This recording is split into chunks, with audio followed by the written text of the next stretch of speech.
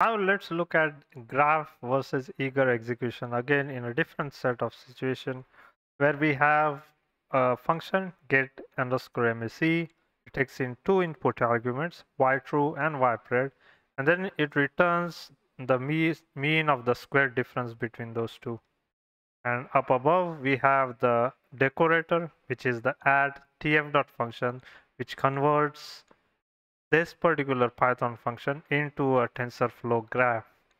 And down here we have uh, y true and y pred which are uh, which are created here, which is tf.random.uniform, and we have the integer type 32, and this is how these two tensors look like that will use as an input to get MAC.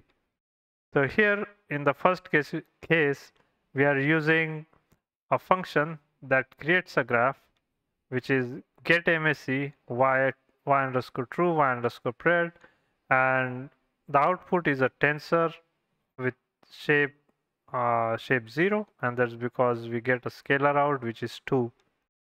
Now in this case if we want to switch off the ability of the function to execute from graph to eagerly then that is possible. So above this line of code if you write tf.config.run underscore functions underscore eagerly is in parenthesis true then this will run as the regular python function and we'll get the output as shown below. And after this is done we want to remember to set it to false as shown in the line below this now let's look at another case where we are using tf dot function. Here we try to compare graph versus eager execution. And for that we have a simple uh, function created here in Python which is get underscore mac which takes in two input values y true and y pred. Now within this function we have a print statement that says in quotes calculating mac colon and we have the two input arguments defined here as tf.random.uniform and now what happens is when we call get mac if you remember from the previous explanations that we had the first step that happens is in this case the tf dot function is read and it starts converting this particular code into a graph. And while doing so it does print out the uh, print statement. So we get the output here. But now when we call the get mac again after this, when the second time the graph here has already been created. So in the output we do not see this print statement. And that well, that is kind of surprising. And the reason for that is because the print statement is not included in the graph. So if you look at the docs, it says that the tracing captures TensorFlow operations into the graph, which would be uh, taking this difference, getting the power of that, and then the reduce mean part. So these are all captured in the graph. However, this print statement is not in the graph. And so uh, when we make a call to the function multiple times, we may see some of the Python functionalities that got executed the first time and they are not getting executed in subsequent call for that same function. This could be the reason that maybe those were not included in the graph. Now here we have an example of a non-strict execution. What I mean by that is in when we perform a eager execution that is python it goes line by line it reads every line runs it and if there is an error it will throw an error. However when we run a graph the non-essential parts are not included in the graph. And so you might see that uh, it doesn't throw an error. So for example here we have a constant x uh, which is this one dimensional tensor so rank one tensor and then we have this function unused return eager re unused undersc underscore return underscore eager takes in an input value x. Now when we call this tf dot gather x then we have the in square brackets we have 4 what this is uh, what we are trying to tell is uh, find the value within the tensor x at index number 4 so we know that there is no index number 4 in this particular tensor it's because we have 0 1 2 and 3 that's the max index so when we run this code in pure Python without TensorFlow, it will throw an error. So if you run these lines of code, try, this will fail. And so this would be the except, this will print, get printed out and you'll get this invalid, invalid argument error indices 0 is equal to 1. Now that is what is normal and we know that. And here as you can see there is no add tf dot function decorator up top to convert this function into a graph. Now however we have that decorator up there what we are doing now is converting this function into a graph. And in when we do that this unused line of code gets skipped in graph execution.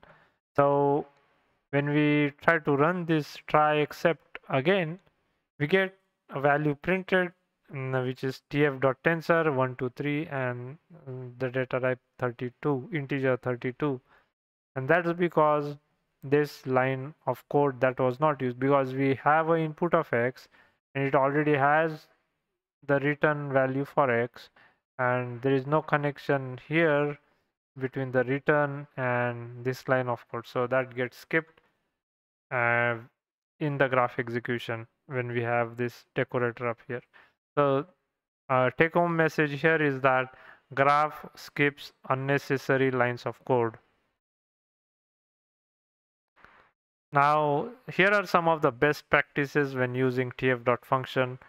uh, these are directly from the docs one to get hands-on on how it works uh, the suggest one suggestion is to play around with uh, different uh, Python functionalities within tf.function and see how they are getting executed uh, in when you run it as eager functions and when you run it as graph. And general idea is that you want to design a tf dot function for itself to write into a graph. And uh, as I said earlier, so if you have written a function, you could to verify if it's working correctly or not, or if you need to find out any additional details within those two functions, you could run it as eager and then run it as graph and see if the outputs are same. More and similarly if we have tf dot variables outside the general idea is to create the tf dot variables outside of the python function and then modify them inside the function uh, that's one suggestion uh, other suggestions include uh, try to avoid writing functions that depend on outer Python variables. Uh, so this excludes the tf dot variables and keras objects. And write functions which take tensors and other tens for TensorFlow objects as input rather than integers or NumPy array. It should take tensors. And tensors, of course, they are backed by NumPy arrays, but uh, it should have inputs that are TensorFlow types. And then include as much computation as possible under tf.function to maximize performance gain. So for example, decorate the entire training step or the training loop within tf dot function so that it creates a graph for that and the general idea here is that if you can if the TensorFlow is able to create a graph for the lines of code you have, the execution would be much, much faster. And here is an example of how fast it can go. So we have uh, initialized x here by tf.random uniform. Then we have a function power which takes in two input arguments x and y and then we have result is equal to tf dot eye and then we have a for loop here which returns the dot products of x and the result. And down below this is the time it where we time it so we'll have to import timeit to run this line of code. And we have a lambda function that calls this to perform the dot product and we have number set to 100 so this loop will iterate for 100 times oh sorry 1000 times. And the execution time for this is 23 and in this in the bottom case where we use the tf dot function for the same power function that we have up above the execution time drops down to 19.8 so it's about uh, so we do have a difference there as compared to we can see that converting the function to a graph uh, in this case runs faster mm, as compared to running the uh, core uh, running the function as uh, original pythons now with performance and trade-offs one point to remember is that when we are build when the a graph is getting built in TensorFlow, the step of tracing is in process. So what tracing does is it captures TensorFlow operations into a graph. And if the uh, if the if the lines of code are much longer or if the the depends on the code that is written if it's uh, too involved or complicated then the tracing part may take time but then once the graph is created it will be much much faster to run the code using the graph that is created by TensorFlow.